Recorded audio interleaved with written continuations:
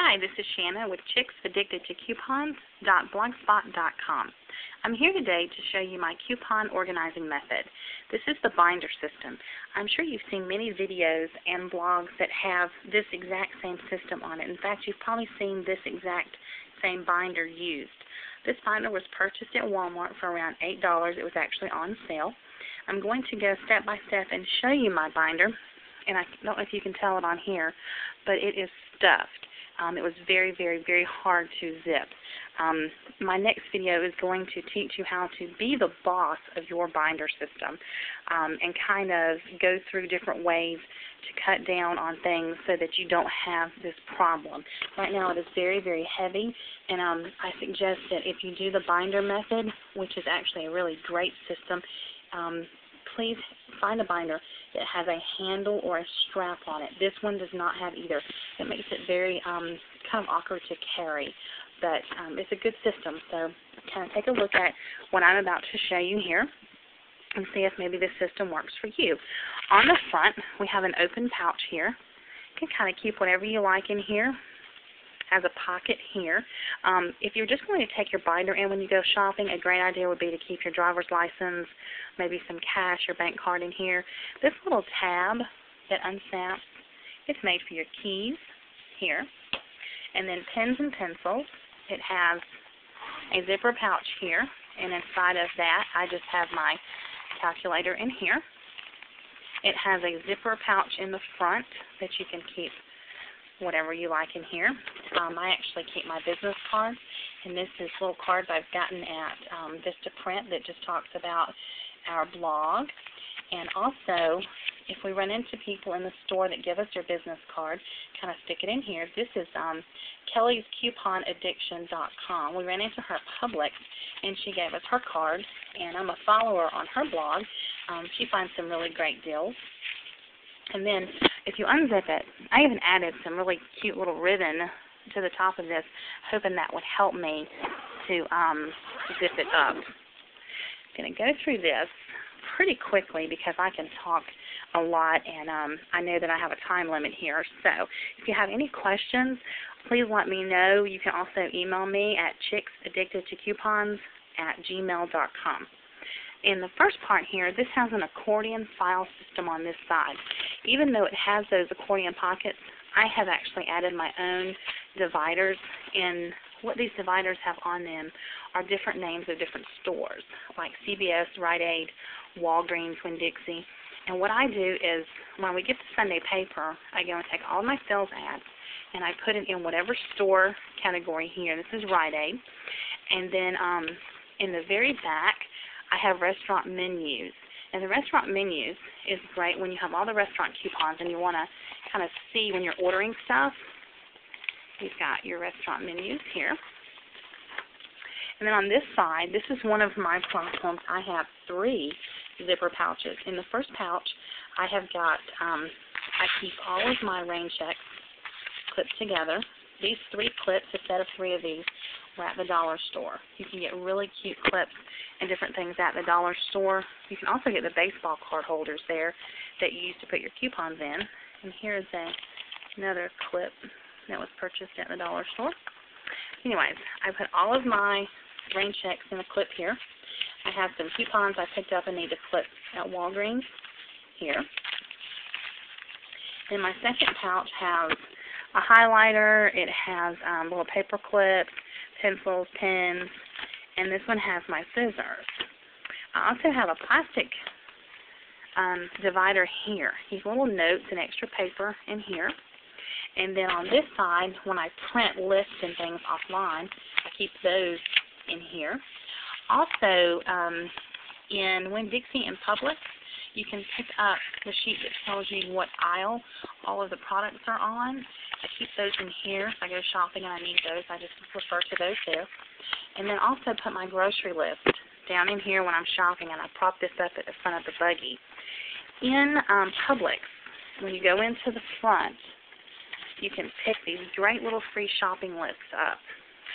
And you can make your list based on that and kind of stick it down in here when you go shopping, and everything is right there at your fingertips. That's my All You magazine. I have to cut my clip, um, cut my coupons out of those. In the front, I also have more store categories. It's the same stores that you see over here on the left, but over here what I have is like CVS is first. All of my CVS coupons are in here. All of my Publix coupons are in Publix. I don't put like my frozen Publix coupons in with my frozen foods because I want to have all my Publix coupons together. And then I have Rite Aid and so on and so forth.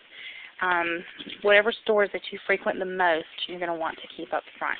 If there are stores that you want to have but you don't go in that often, you may want to put those in the back because that is what I have done. And then all the different categories. I have tons of categories. You may choose um, to do less categories, but I have a lot, and you can check those out on the blog. It's in one of my earlier archives. Um, when I first started, I listed the categories. In here, I'm just going to name a few, like um, boxed foods and side dishes. I have like my hamburger helper, macaroni and cheese, um, shake and bake, breads and snacks. And here I have like the cinnamon bread. I have um, bagels, Slim Jims, cookies, um, gummy worms, and then cold foods and meats. I have like the monkey bread.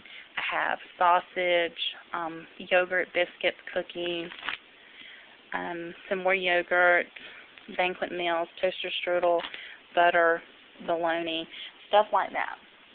Okay, another category that I have would be like medicine.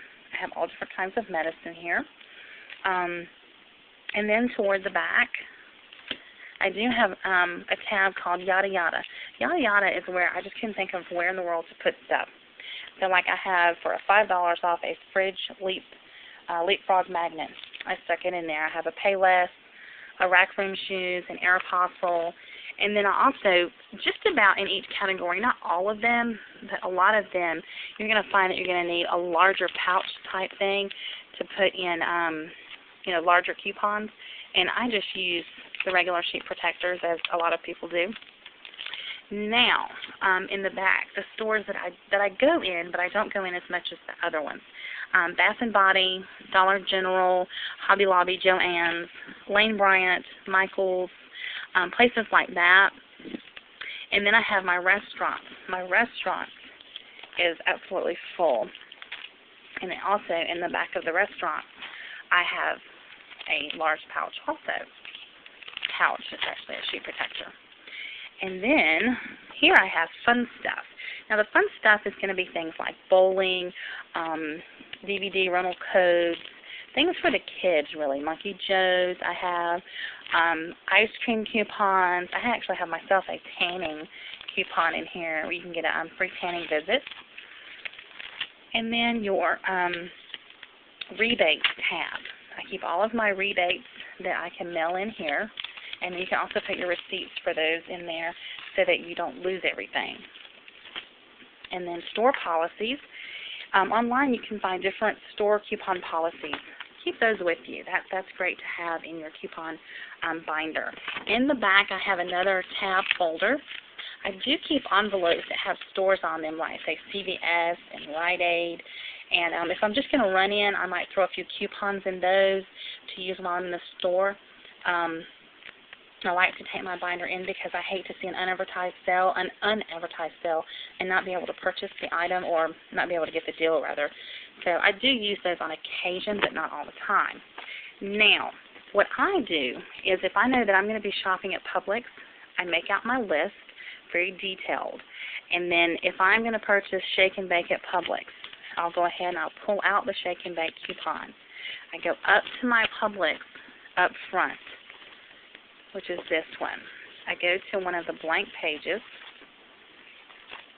and then I put all of my Publix in here so that when I go to the store, I put the item in my buggy, I take the coupon out, and I put it in here, and I'm ready to go. All my coupons will be in here for when I get ready to check out.